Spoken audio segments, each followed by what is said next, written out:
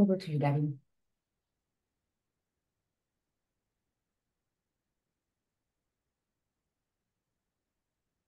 So good morning, good afternoon, good evening. Uh, welcome to all the, the colleagues uh, from all around the world, hopefully, uh, connecting to this 23rd uh, Knowledge Cafe of the Integrated Policy uh, Practitioners Network, otherwise called uh, IPPN. I'm David Khoudour. I am the Global Human Mobility Advisor at UNDP within the, the Crisis Bureau and uh, I coordinate the work on uh, migration and, and forced displacement. I'm very happy to be to be here. Uh, just as a quick introduction, IPPN, again, Integrated Policy Practitioners Network, is an initiative of 10 funding UN entities to create community space where we can share lessons and experiences uh, mostly related uh, to the implementation of the 2030 agenda. The objective is to strengthen collective capacities to apply integrated policy appro approaches in concrete and practical ways. So it's really about practitioners. IPPN is primarily a UN interagency network, though it is also open to colleagues in government, academia, and the broader development community. IPPN is uh, jointly managed by UNDP, UNESCO, UNFPA, UNICEF, ILO, and FAO. And the purpose of this series of monthly knowledge cafes is to showcase insightful experiences of policy integration for accelerating progress on the SDGs. And in this uh, perspective, today's session focuses on leveraging migration for accelerated sustainable development uh, outcomes.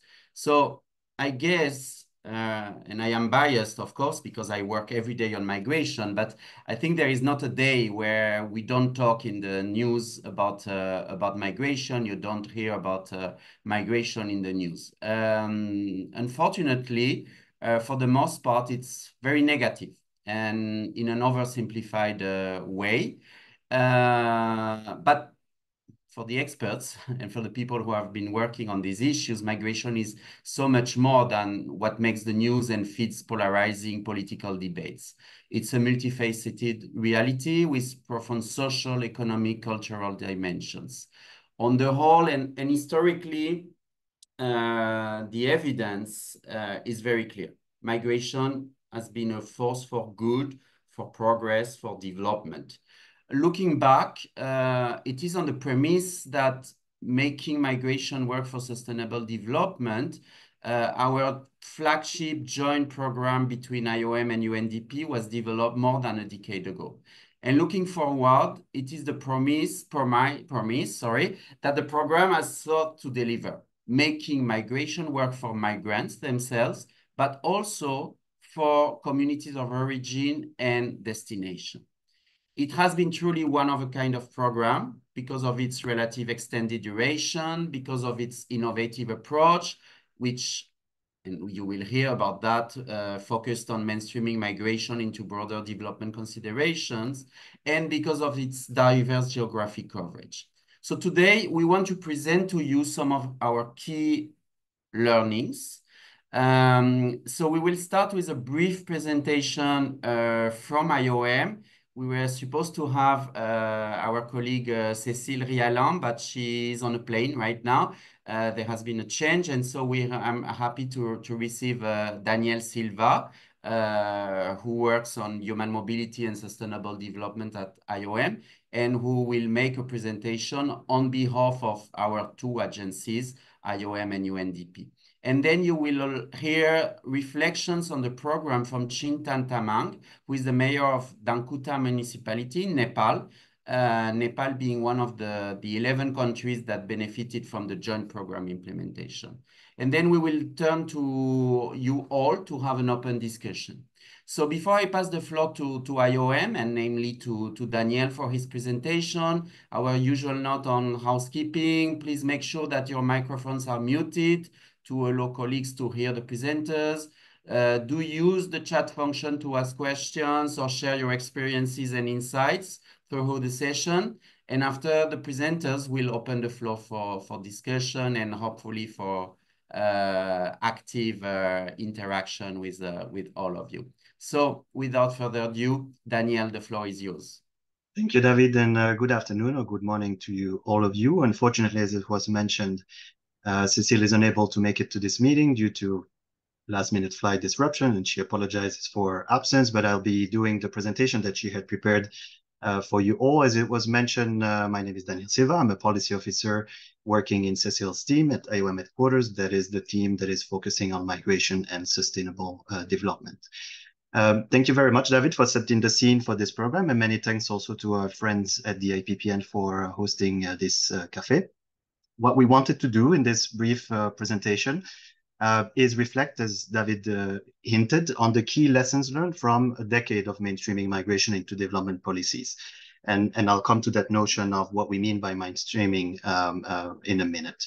Um, important to flag that we will not cover every and all elements of learning from this program, as obviously it would take too much time, uh, but to flag that we have those well documented into a final knowledge product that will make sure that is available to you uh, through this meeting, uh, probably through the chat. You will see links posted to that document and also after the meeting.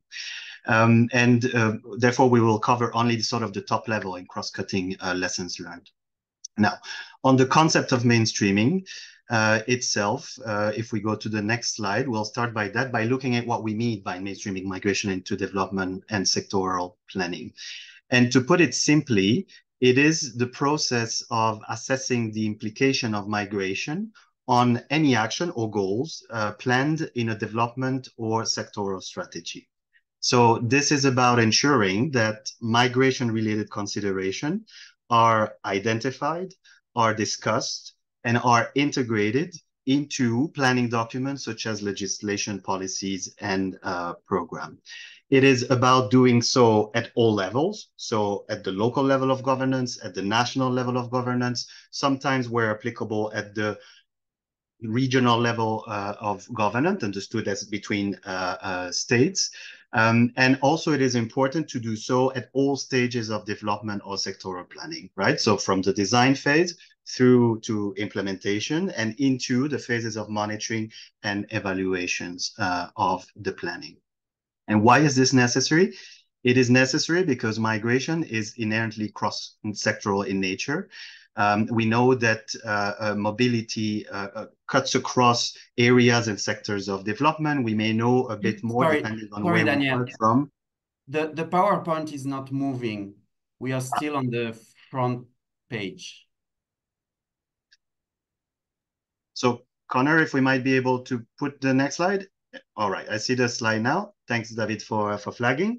Um, so I was saying that while mobility may be known to, to some of you and, and mostly in the, in the public opinion, perhaps more as it relates to remittances on diaspora engagement, in fact, we know that migration interacts with many other topics such as food security, governance, livelihoods, income generation, or education. So integrating mobility consideration into planning and programming across development topics is also vital to the success of those because it advances policy coherence.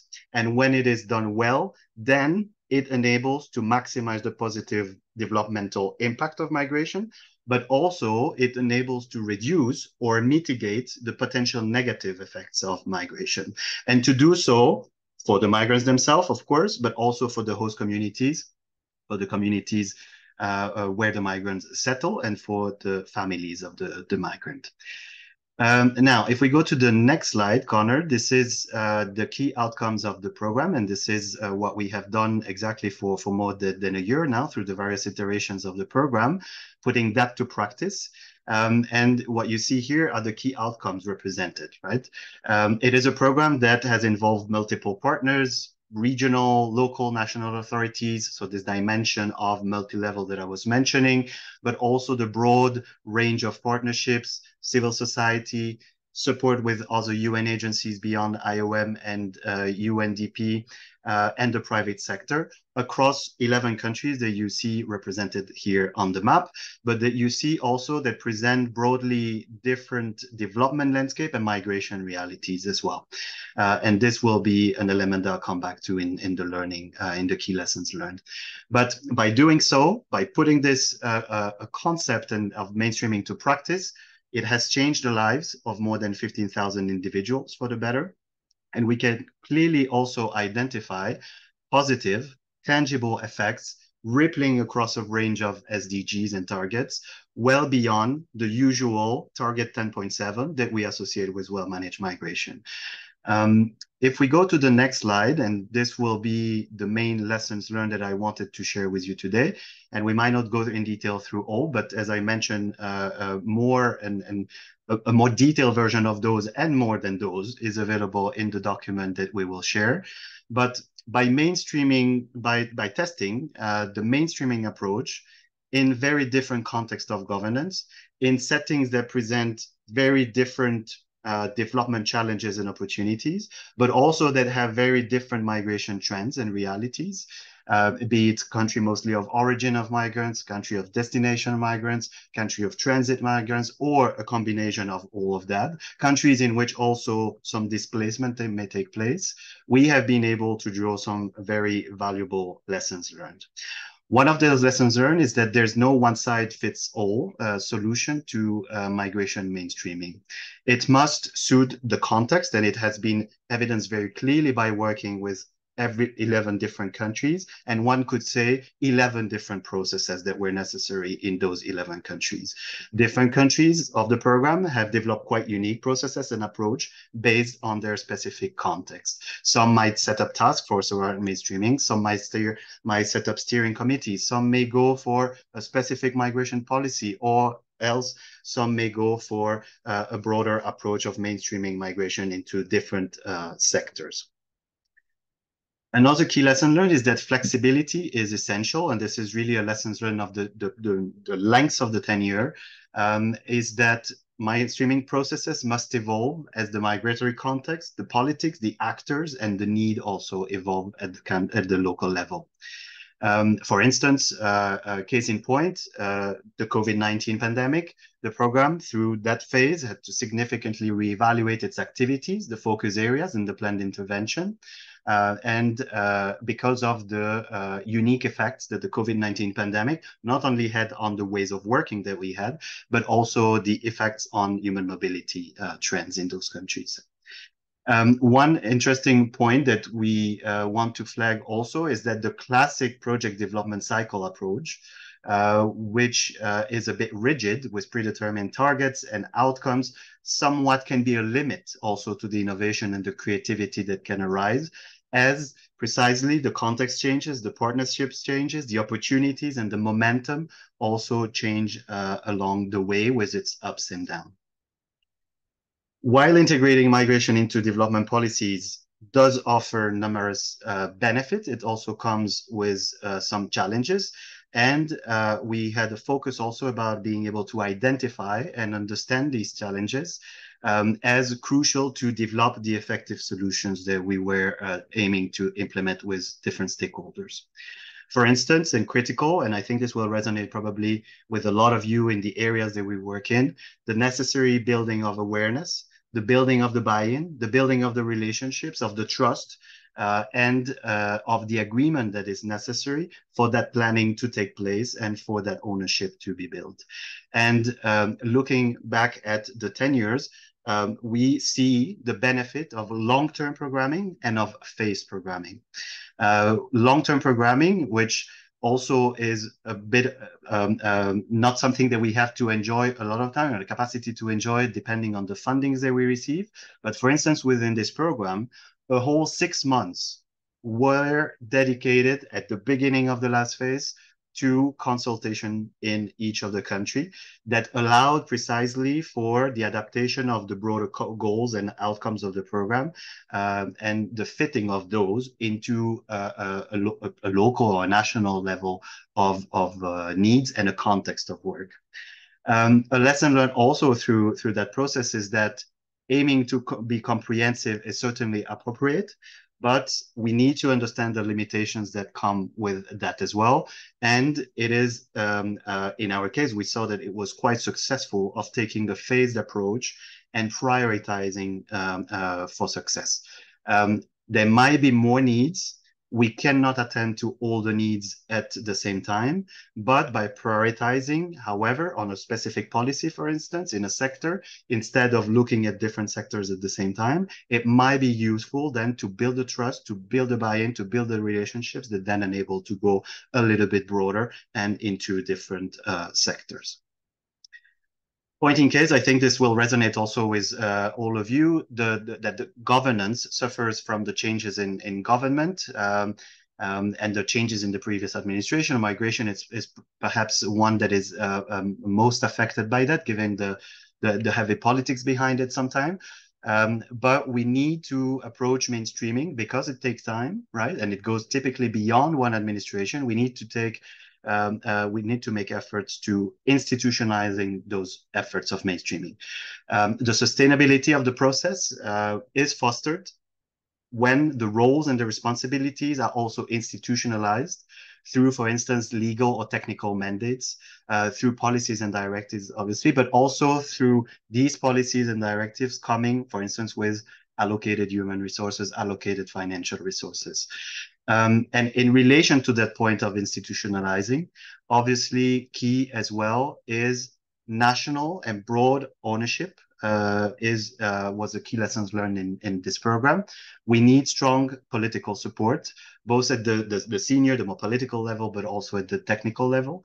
And this ensures that there is sufficient then institutional backing to institutionalize also the uh, efforts of mainstreaming. Lastly, uh, for now, um, thanks to this program, we also clearly learned the value uh, of uh, to think top down and bottom up, and the value also of earnest, authentic dialogue and listening of the affected communities, of civil society and, and other actors. Now, did we um, do? How do we reach scale from this type of programming? And this will be uh, my uh, next slide, which is more on the way forward. Um, the IOM flagship report uh, that was released uh, last year, just ahead of the summit, that looked at how we uh, can leverage human mobility to accelerate uh, and rescue, in a way, the 2030 agenda, um, documented this statistics that you see here on the screen. 65% um, of governments have some provisions for migration governance, but only 4% have comprehensive policies for safe, orderly, and regular migration. We see progress also uh, in that the mainstreaming approach itself is being picked up by a range of stakeholders. Uh, for instance, we had a, a study uh, that was done recently that showed that out of the 56 countries studied, 12 consult regularly migrants in policy planning, uh, we see also that human mobility and, and the potential of human mobility is increasingly integrated into global sustainable development dialogues. This is true of the SDG Summit. Uh, this is true of the HLPFs in, in the last editions of it. Um, and also with the network on migration reporting on the linkages between the GCM, uh, Global Compact on Safe, Orderly, and Regular Migration, and uh, the 2030 Agenda. But did we reach without uh, excluding these uh, uh, otherwise uh, optimistic to some extent statistics, we reach the point where we need to be?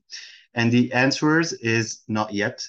Um, and because we are not there yet, the potential to use migration, to leverage migration, um, to accelerate sustainable development outcomes remains uh, to some extent uh, untapped.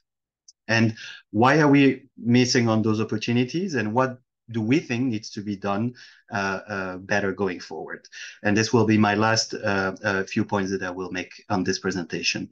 First of all, let's be clear in that business as usual is simply not good enough.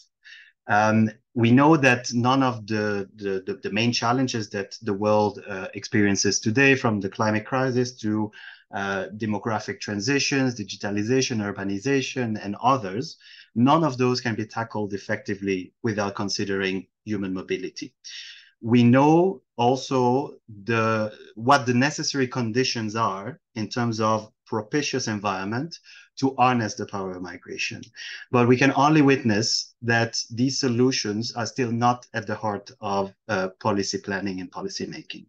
And when they exist, they are not yet brought to scale. And we need to change uh, uh, that mainstreaming migration in a way uh, needs to become systematic almost a reflex we could say um, because we know that good migration governance is not about good migration policies and all, given its ramifications that I alluded to uh, in the beginning of, of the presentation.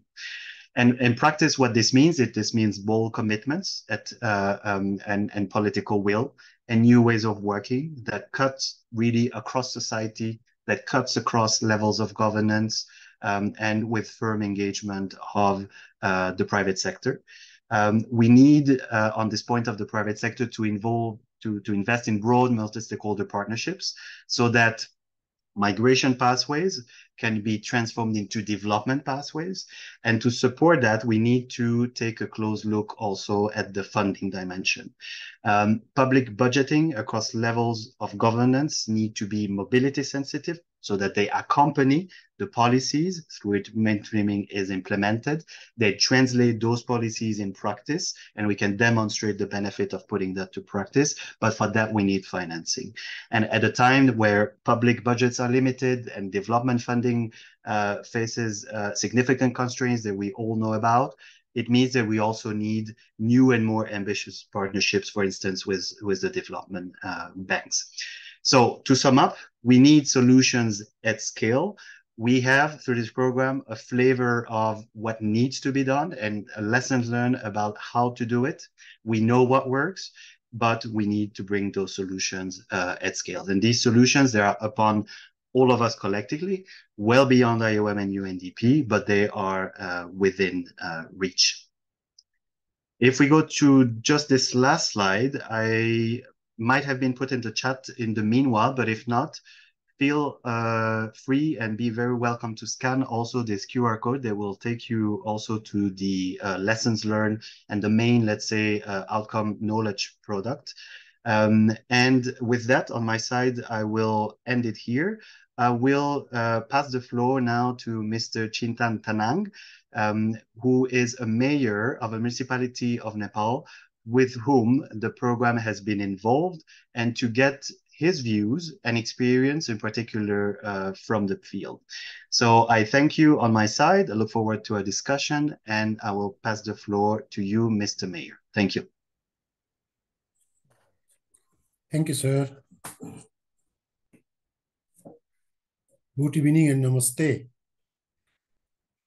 Distinguished speakers and participants, I am delighted to speak today at this program event. To start, let me introduce you to Dhankuta municipality, one of the oldest municipalities in Nepal's mountainous region. Our municipality is primarily based on agriculture, animal husbandry, tourism, and small enterprises. Many of our youth migrate to seek better financial opportunities overseas due to limit employment. Prospects at local level, climate change, challenges, and a lack of physical infrastructure. To address these issues, Dhankuta municipality has taken proactive measures to reduce law wage, foreign employment, and promote green growth. We provide counseling to those seeking safe and dignified work abroad. Raise awareness among workers about potential challenges in destination countries and arrange rescue, relief, and compensation for those in distress. Additionally, we focus on reintegrating returning workers into society. Our municipality collaborates with governmental and non-governmental organizations to promote economic, psychosocial, and social reintegration. We offer various skill development and entrepreneurship training programs, along with grants to create self-employment opportunities, short-term jobs, and support for small business and the local level. We have also promoted avocado cultivation, earning Dhankuta the title of the capital of avocado in Nepal. To strengthen the local economy and reduce the need for forced migration and to encourage green growth to address climate change impact. A migration resources center operates within our municipality, providing counseling service, raising awareness and about potential problems avoid, and facilitating the rescue and reintegration of these test workers. Dhankuta municipality coordinate with intergovernmental mechanism and various stakeholder organization to ensure the center's effective operation. In partnership, in partnership with organizations such as the International Organization for Migration, IOM, and Ministry of Industry, Commerce, and Supplies, Dhankuta Dhankuta municipality has formulated and successfully implemented implement uh, integration, reintegration policy for returning migrant workers through the support of the COVID-19 response and recovery fund supported by UN multi-partner trust fund and migration for sustainable development program supported by the Swiss Agency for Development and Cooperation we are proud to be the first municipality in Nepal to achieve this servicing. Is achieve this serving as an effective model for managing foreign employment and reintegration efforts. Our partnership with IOM extend beyond the COVID-19 pandemic together. We have supported capacity building within the municipality in migration and development and provide recovery support to migrants who faced uh, challenges during the pandemic. We are grateful for IOM, IOM's support and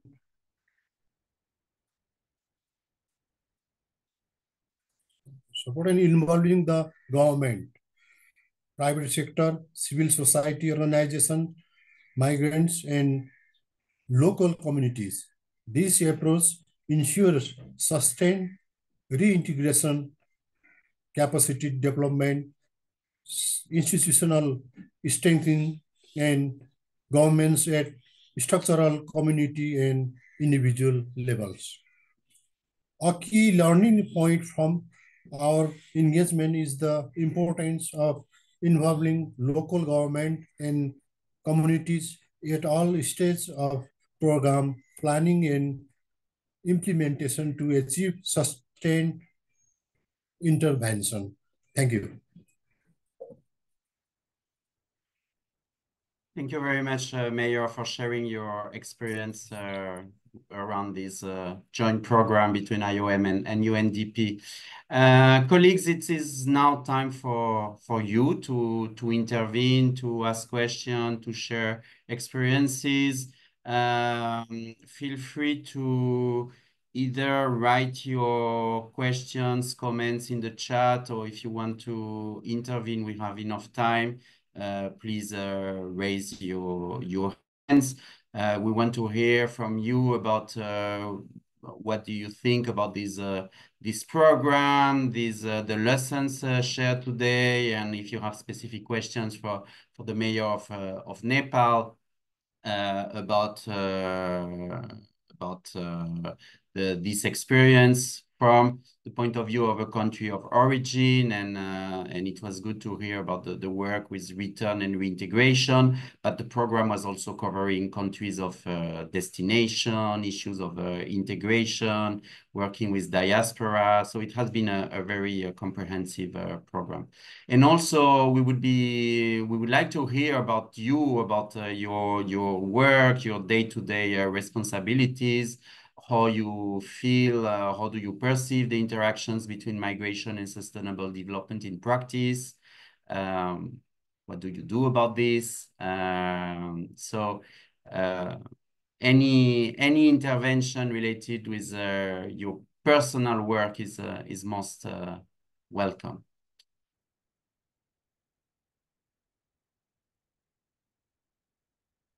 So at the moment, I don't see any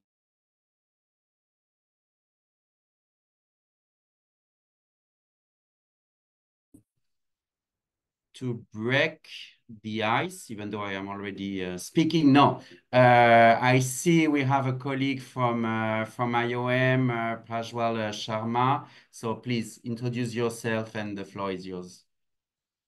Thank you so much, colleagues. It was wonderful hearing uh, from Daniel, uh, having been part of this program as well. It was delightful to hear like the kind of impact that we were able to uh, make in uh, so many countries. Um, and it was very equally insightful hearing from uh, the respected mayor of uh, Dhankuta municipality. And from our experience, what I can say is like, um, especially the countries that uh, have like frequent changes in the political uh, situation and all. Uh, engaging with the local government and local communities especially is uh, very much critical considering like uh, uh, the local government they are usually the stable one considering i mean looking into the federal structures and all comparing with the national level so it makes high impact and also the uh, sustained uh, effort to our uh, you know like uh, project activities. If we engage uh, with the local communities and also like plan our intervention jointly with the local government. For example uh, Dhankuta municipality was one of the example from this program where we were able to you know, like um, jointly work with the ward offices, the local unit of the municipality, and also the local communities. While uh, the project was focused on the migrant workers, but there were some challenges uh, because uh, which we addressed with together with the respected mayor uh, was like um, there were other communities who were even in dire situation and required more support um, especially on the entrepreneurship uh, and then um, support there with their livelihood concern and entrepreneurship. So uh, together with the uh, mayor and his team at the municipality and the local communities um, discussing with them, we also identified key other population that required support and uh, the project was able to support them as well. So as uh, uh, Mr. Mayor um, rightly highlighted, I think that was one of the learning from previous JMDI component, which, which try to um, implement through this project. And I think we are, it was pretty successful and we are very happy uh, that the initiative uh, from uh, this global program and the, um, I mean, the um, the big support that we received from uh, the Dhankuta municipality and mayor himself. Uh, it was largely success and we were also supported by the Ministry of Industry, Commerce and Supply. So bringing other component to the um, intervention as well. For example, uh, the good work of UNDP as a uh, MEDEP program, micro enterprise development programs, and other initiatives ongoing at the uh, local level. So the skill component with one in, uh, initiative, um, reintegration support with another initiative. So bringing all these was uh, one of the uh, beauty of this program. So thank you so much. Uh, and we are very delighted to be part of this program. And thank you especially to the uh, respected mayor for all his leadership and support. Thank you so much. Thanks, uh, Prajwal, for sharing the, the perspective from uh, from IOM in uh, in Nepal and working with uh, the the mayor. Um, I see another hand. Uh, Madhavan Palan. Hello, everyone. This is good meeting you all. Uh, I was just wondering, you know, uh, we can have something like AI perspective to all this techno, all this, you know, non-technical questions because uh, we have to implement at some point, uh, you know, automation in this particular community. Once we uh, and you know reduce the human resources uh, that can go into this particular uh, concepts actually. We cannot always have a capacity building sort of uh, fundamental and you know uh, and woo people to work on this particular community where there's high risk in uh, just taking care of this all these particular topics uh, are we taking you know initiatives in uh, you know you uh, towards using technology and you know using that particular horizontal uh, to leverage us particular uh, leverage our concepts and you know getting to know what we can do and what we cannot do with this particular concept. That would be you know something very interesting uh, you know to discuss for our H, or our IPP, IPPN community and second thing is like IOM is uh, in-house community for me. So I, it, it is it, it is always pleasure to you know uh, watch and you know have a what to say session report uh, sort of situation in the in in in our uh, UNDP IP, uh, IPPN community. I'm also a UNDP working member. Uh, so in SparkBlue, if we can have a technical section, it would be best for me, you know, to communicate all the ideas that I learned from outside. Uh, and you know put uh, all sorts of you know prompts like the chat gpt prompts that you know that can be helpful for our community actually and make our lives a little bit easier in all this you know uh, chaos and all that stuff. Last but not the least happy hlpf and have fun. Good good meeting you all Thank you. Uh, thank you very much, uh, Madhavan. I think it was interesting to also from the colleagues from IOM and UNDP in Nepal to, to hear and, and also the challenges. Uh, because usually in these kind of uh, events, uh, we tend to discuss the good practices and uh, the positive lessons, but I think it's very important also to discuss the challenges because this is what is really useful if we talk about sharing experiences um, where we have uh, struggled uh, in the field. So thanks for, for sharing that. Uh, I, I don't know if there are other colleagues who want to intervene, ask questions. Don't be shy, we still have time. Um, maybe I can uh, revert to Danielle, uh, since I was talking about challenges uh, from your experience uh, being part of the, the management team of this uh, program, what, what would you say would be the, the main challenges you have seen during this, uh, this program or in terms of recommendations uh, about where you have to be careful uh, if you want to overcome big challenges? I, I would actually I would deflate that question, perhaps also in part to some other IOM colleagues that may speak from the perspective of the countries. Um, but I think that uh, the, the point that I wanted to react to on your question is really the, the aspect of enabling a space actually for the program to fail also to some extent, right? Um, we, we, we don't need to pretend that everything is going to work 100%, right? Um, we may start on some policies and then they may uh, drop for the reasons of context that we mentioned, right? There's a turnover in an administration, there's a change in priorities. Um, not everything is linear. Um, and this is where also we need to build a space for acknowledging that some things will not come to fruition uh, exactly in the way that uh, uh, we uh, presented it would in theory in an ideal world in a, in a program document, for instance, or in a, in a concept note. And we need to be able to communicate that also to the donor, right? The donor need to be also on board to understand uh, that uh, that part of failure, in particular, when as this program we are in a piloting which comes then with higher risk, right? But then we need to accept that that degree of, of risk, and we need to make sure that the donor agrees uh, to those. And based ac accounting for the fact that it is a piloting, accounting for the fact that there's a higher degree of risk, then is how we build we build in uh, as strong as possible uh, um, learning and, and knowledge management mechanism. And um, this is certainly something that was at the heart of the program, not as the program has ended now. Let's look back at the 10 years and let's see what worked and what didn't.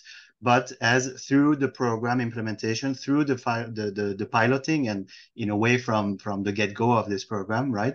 How do we uh, assess what we get back from the field, the informations that we collect, the the, the push and, and and the pull around the the concept of the of mainstreaming in different contexts, how we use the learnings of what happens in a specific country given its particular context to uh, try to do things uh, perhaps differently in another one.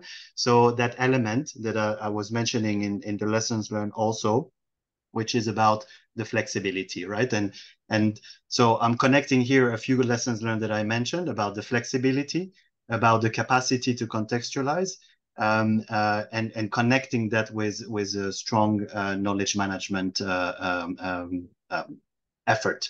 Um, and related to that, I want to flag that uh, they will they're all hyperlinked in the document that has been that perhaps you have uh, scanned or that you have clicked on uh, through the, the, the chat.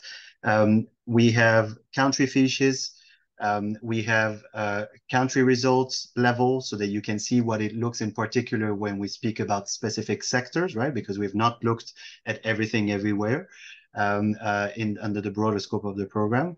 Um, and also, uh, you can see, for instance, more sectoral lessons learned as well. Um, just by looking at the um, at the table of content, you will see that we have, for instance, lessons about the data, uh, lessons about uh, cross-cutting elements such as gender-based uh, approaches, but also, as I was mentioning, an unpacking of some lessons learned with engaging with some particular stakeholders, for instance, the, the private sector. Um, but I, I welcome, uh, of course, and not to put them on the spot, but if any of the IOM colleagues um, uh, want to come in on some of the pitfalls, uh, maybe that have they have come across, uh, feel very free to to to come in. I've seen a few names that uh, uh, might be there from from the country offices. Thanks, Daniel. Indeed, colleagues from the other countries, if you want to intervene and share uh, some uh, some experiences from from you. In the meantime, I see that uh, my colleague Serge Kapto is raising his hand. So Serge, over to you. thank you, David. Um, thanks, Daniel and Mr. Mayor, for that very insightful presentation. Uh, I would like to bring the conversation a little bit back to uh, to the SDGs and particularly for you, Daniel. Um, if you do have a sense from uh, the implementation of the program so far, uh, which are the SDGs that are the most affected by the issue of, uh, of migration? And, and if possible, if that is a, a positive effect, right? Because we're looking here at uh, how to accelerate progress on the SDGs and how migration can be a factor for SDG acceleration. So uh, in your sense, uh, where do we see the most benefits uh, when we look at the 2030 agenda? And, and the second question, which could maybe be related to uh, what you just uh, prompted colleagues from other countries, how is this replicable? I mean, now that the program is over, I guess you would be looking at the, some kind of scale. how would this be? What are the lessons that would make it replicable in other country context uh, that you would see uh, from uh, the lessons you've learned so far? Thank you very much, uh, Serge. If I may take that first one, um, obviously everything that has been done in the context of the program has a strong impact on SDG 10, right? And in particular on, on the target uh, 10.7 that, as I mentioned, is the, the, the prime target when we speak about migration in relations to the SDGs, right? But you rightly point, and, and I mentioned the, the, the rippling effect, the positive effect that by working on well-managed, safe, orderly, irregular migration, we can then have on other sectors because migration is not in isolation, but is inherently connected uh, to social sectors, uh, to governance aspects. Um, uh, um, and to the broader global transformations that we experience, right? Which each creates an effect also on the capacity to advance or the delays, unfortunately, that we are seeing also increasingly, or the slide down, even the reversals on our progress to, towards the SDGs. Now, I will say in, in a general manner, and this is the way we usually present things, is that there's no SDG that you will find that you cannot connect in one way or another to migration. Um, that you look at it from the perspective of, of leave no one behind, or that you look at it from the perspective of uh, ensuring that um, uh, we uh, harness the contributions of the migrants in that particular sector. Uh, there's no SDGs where we cannot find one example of those connections, right? And this is something that the 2030 agenda in general recognizes, right? The cross dimensionality, uh, the cross cutting nature of, of migration as related to development. Now, once I've mentioned that, and I've mentioned also that obviously everything that we do has a strong anchoring in 10.7, depending on what we do then, depending on the type of policies that we look at in particular, it will have a more specific impact uh, on different SDGs. One that is very often uh, coming uh, is um, SDG uh, 8, because we also know that, that's a reality of, of international migration is that the majority of international migrants are, are, are migrants for work uh, purposes, right?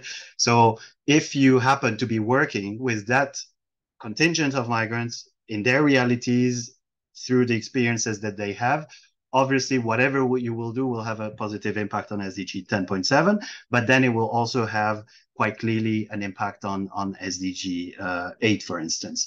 But if you work at the community level, if you work on the aspect of, of reintegration, for instance, you will also, in, in those cases, and depending on the context, but um, let's say speaking in a general manner, uh, you will um, have uh, a capacity to work, for instance, on on um, on SDG one and no poverty, because it's about uh, reducing the poverty and the, the, the the elements of a context that drive people in the first place to move, right?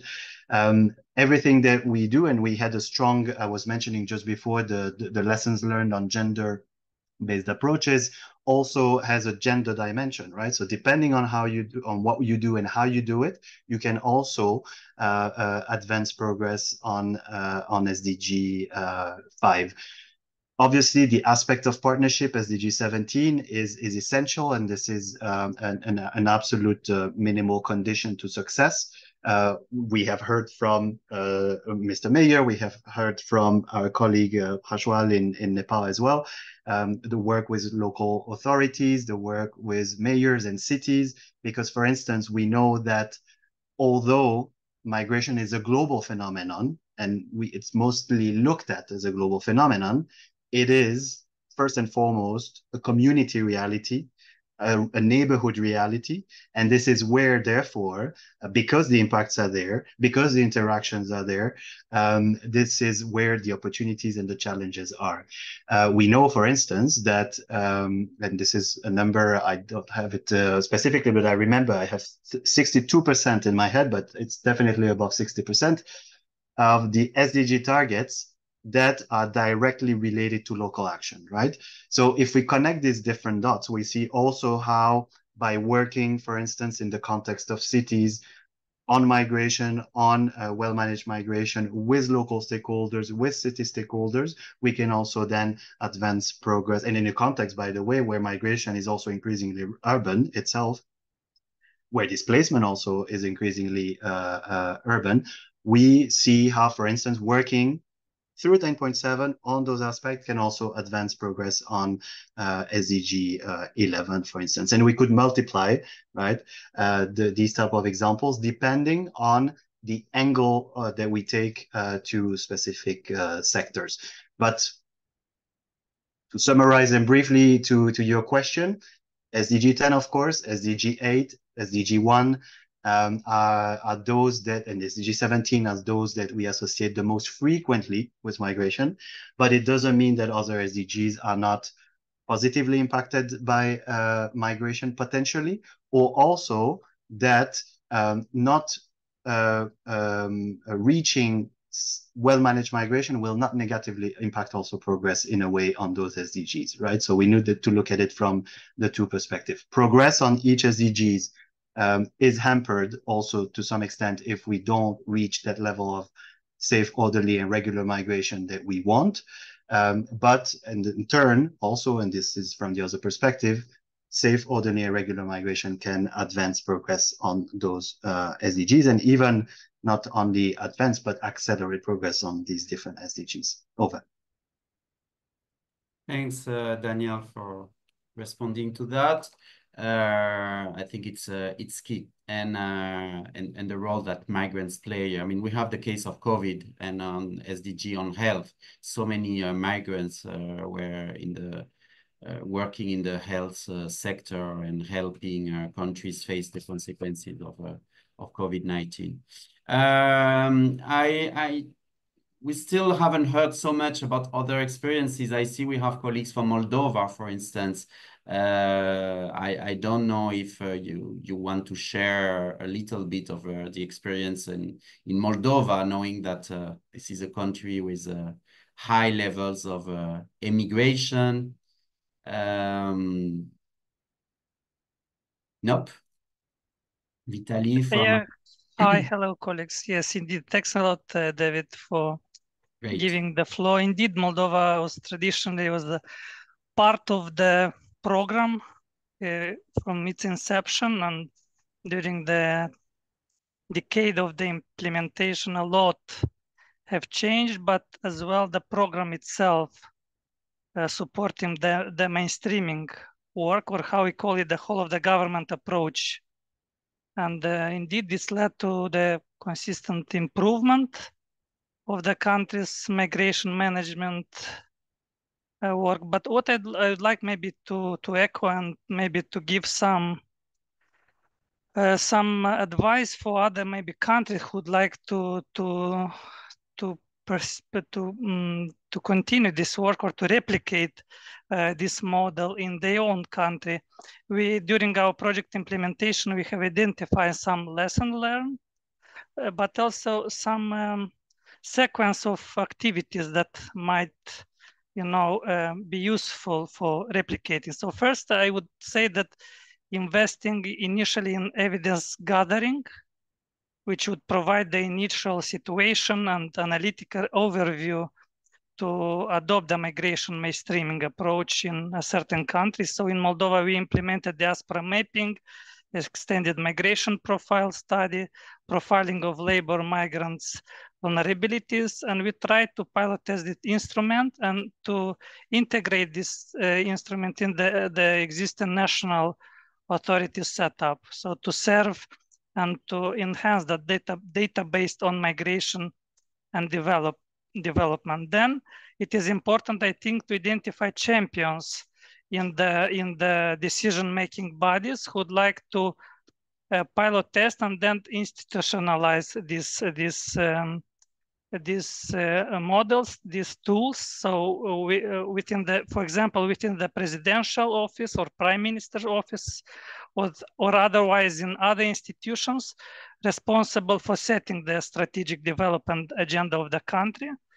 So it is important to identify arguments to the convince the officials uh, and these bodies of their self-interest to to respective agency officials and the importance and the linkages between migration and, and development.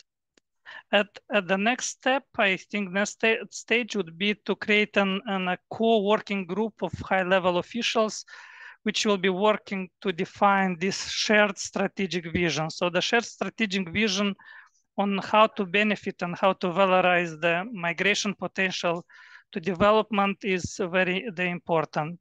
And uh, this, of course, would need to be uh, implemented and, um, let's say, pilot tested together with the UN partners. So we partnered in this endeavor, of course, with UNDP, but then with ILO, with UNICEF, on different uh, strategic activities together to to uh, to promote this shared vision and and, and ensure the buy-in and ownership of the go government because this is important even to develop a roadmap and a clear plan towards the towards, to the towards the the creation of the structures and mechanism for mainstreaming of migration.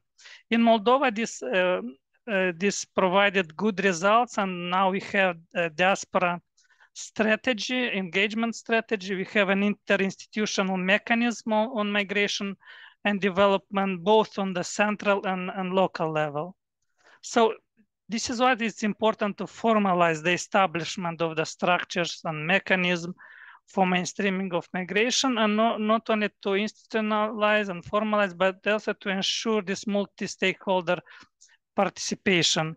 Uh, last development was the, the engagement with the Ministry of Environment because uh, till recently the migration and climate change nexus was not uh, understood and was not approached. And but now, for example, the Ministry of Environment is kind of champion in promoting the mainstreaming of migration and climate change uh, issues. And um, working as mentioned above uh, with, with decision-making bodies and identifying champions in this regard is very important. And then at the next steps, one I think needs to equip the newly devel developed structures or mechanisms with the with the analytical and maybe policy and monitoring tools and the tools uh, which gather data, which I mentioned above, migration profile, ex post policy evaluation guides, and maybe in Moldova, we, we also develop a checklist on uh, application of the mainstreaming in different policy helped to monitor and evaluate how the, the mainstreaming mechanism is implemented both on central and uh, local level. And maybe a last issues, I think it's important to expand uh, the mainstreaming mechanism to the local level. So in Moldova, we started the mainstreaming work on the central level, but uh, the results was indeed uh, impressive and uh, it also contributed to the de development not only for the policies, but for the programs to support the diaspora engagement. So for example, the PARE 1 plus 3 plus 1 uh, program was uh, pilot tested and implemented, which is supporting the, the investment of remittances in uh, economic development. Then on the local level, this was complemented and uh, with the, another program DAR 1 plus 3, which is supporting the invest, investment from the diaspora communities into the, from the diaspora association into the local communities. And this is kind of um, uh, mainstreaming on the local level and this endeavor ensures vertical policy coherence and whole of society uh, effort as well. So this is uh, very briefly some of our advice and consideration for the replication of the such mechanism in other countries. Thank Thanks, uh, Vitali, uh, for sharing the experience of Moldova. We only have uh, three minutes left. Uh, Daniel, in uh, a, a, couple of additional things you want to say in two minutes, especially I think it would be good to hear about countries, uh, colleagues interested in uh, working on mainstreaming migration into development uh, planning, the resources after 12 years of working on uh, on these, uh, what uh, trainings, toolkits, technical support that they can tap into. Thanks very much, David. And very briefly, uh, to thank all the, the, the, the, persons that came in and intervened and had some questions. Um, on the resources, you will see as it relates to the program that there's um, um, an, an, annex with a number of resources already. Those are more focused on the program and the specifics of the program, um, but also from the country's perspective.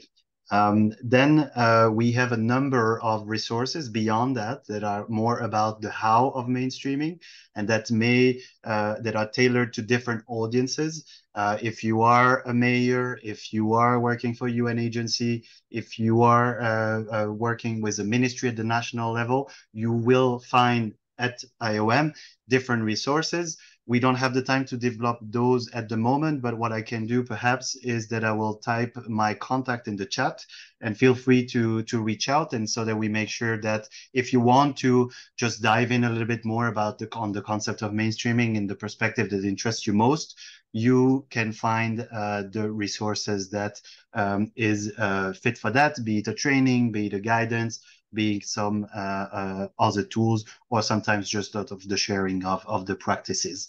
Um, so I will uh, put my contact in, in the chat and in my closing, uh, thank you to all of the participants. And again, thank you to the IPPN uh, colleagues and, and to you, David, for the moderation.